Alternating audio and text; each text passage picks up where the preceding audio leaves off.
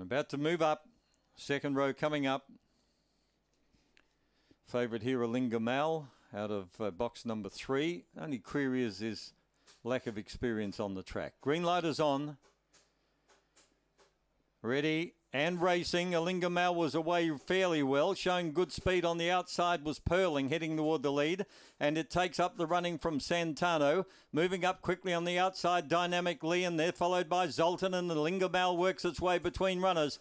Going to the front now is Dynamic Lee. Coming out after it, Alinga Mal. They're followed by Pearling and Zoltan. In the home running, it's Dynamic Lee. Wins by a length. Second home on the inside of Alinga Mal. They're followed by Pearling, about a head away, fourth Zoltan.